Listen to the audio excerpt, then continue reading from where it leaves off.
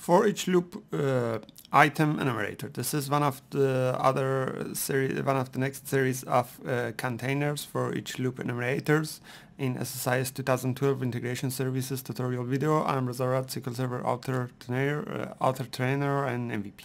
Um, uh, first, uh, what is the item enumerator? In the item enumerator, you can loop through static data uh, that actually created in your uh, package manually defined by yourself, which can contain uh, multiple columns. Each column can have different data types, string, integer, datetime, this kind of data types.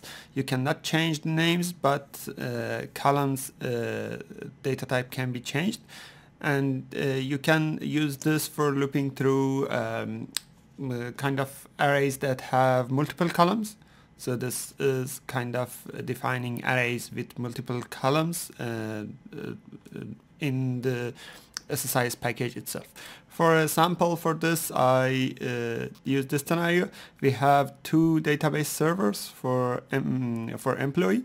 Assume that each uh, um, department has its own employee database table.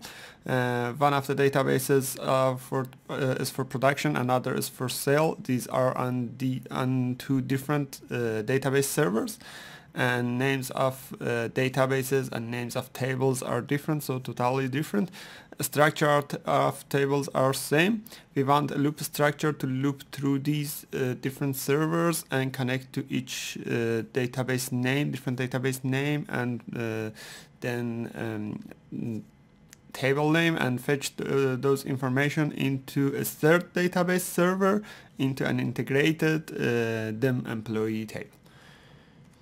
Okay, this is how this looks like right now. We have three different servers. Uh, in one of the servers we have the production database. As you can see this is a different server. Uh, in this server and in the production database we have the employee table which contains some information about employees, some records for employees. And then we have another database server in this database server we have sales database and the table name is sales employee so name of tables name of databases and names of servers are different. So we want to create a, a data table in the package that contains names of server names of data uh, name of databases and name of tables in two different row. And then finally we want to load those information into our sample database into the DIM employee. The employee already is empty okay. Now I create a new SSIS project.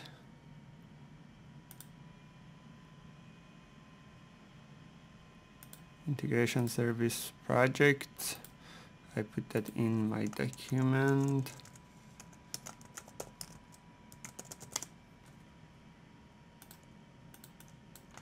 Containers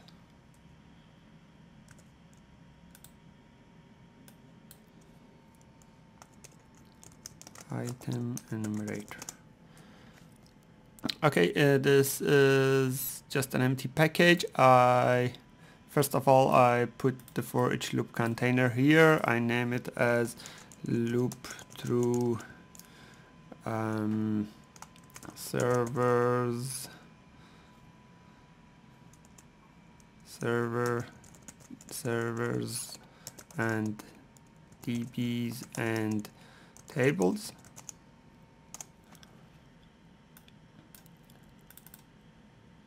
now into inside this I change enumerator to item enumerator when I change enumerator to item enumerator you can see that here is an enumerator configuration that I can set columns here I can add different columns. For example, as you can see, I can add different columns. I cannot change name of columns, but I can change data types. These are basic data types uh, that we can add use here. For example, I want one column for server name, another for database name, and another for table name, so all is string. When I define columns, you can see that that data table created here. Now I can add uh, values here. So the first one I want to use for um, server name, I say SQL Express 2012 and the database name for this one.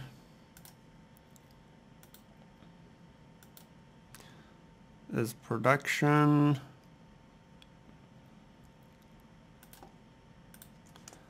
Production and table name is employee. For the next one database server is SQL Express 2008 R2 database name sales and table name sales employee for this example, I assume that we uh, our user has a Windows authentication access to both of this server. If it doesn't have, then we need to uh, uh, have two other columns for SQL Server authentication username and password as well. So this is the mm, table that I've created. Now I want to map these values to variables. So I create different variables, one for server another for DB and the third one for table name. So as you can see the order of these columns is as the order of these columns. This is important because uh, we cannot refer to column names. We can just uh, mm, follow this order. Okay, I okay this and now I add the data flow task here. Inside that uh, inside this data flow task, I want to select information from each of source databases. So first of all, I need to connect this to an existing database to get this working. I connect this to the sales one. And I want to choose a table name from variable, but before that uh, my table name variable should have a default value, so I use sales employee. This is just for the verification and fetching the metadata for the first time. So I use table name and here we can see that this is source database columns. I choose those. I want to only insert the records that are not exist in the destination so I use a lookup. I look up into the destination or final destination data uh, database which is our sample database into dim employee and based on the employee key I want just to fetch new records so I redirect rows to no match output those rows that are not exist and then finally I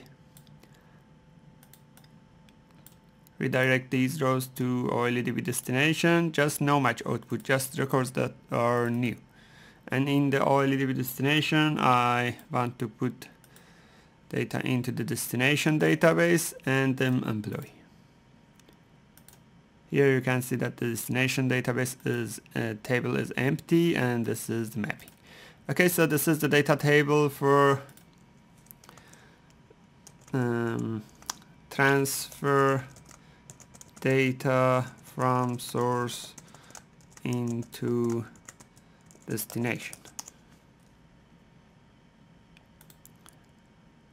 Now I want to run this to show you how this works. Uh, before running that I, I have a final step. The final step is to configure, this is the source connection. I want to configure the source connection to use DB and server um, package variables. So I go to properties, I use expressions here again. So I choose expression, I set the server name with the variable, package variable named server and the initial catalog with the variable named db. So I set database name and server name into the connection string in this way. Uh, when I change this, you can see that the mm, uh, package shows an error here. The error is because uh, the validation step uh, that uh, occurs in the compile time, I set delay validation for the connection and for the task both to true. This means that the validation will happen in the runtime and in the runtime we have those values coming from the for each loop so it will works. When I execute this task, you can see that this executed. It was fast because number of records was not that much and now when I go to my destination table and select everything, you can see that this already has some records and some of these records coming from uh, production records, some of records coming from sales. So this was a sample of how to work with item enumerator as you can see this is uh, very flexible. You can define uh, as many as columns you want and uh, set the data types of those and then map those to variables. And this is quite good for mm, uh, situations that you want to work with um, um, arrays that uh, have multiple columns. Each columns can be different data type. Thanks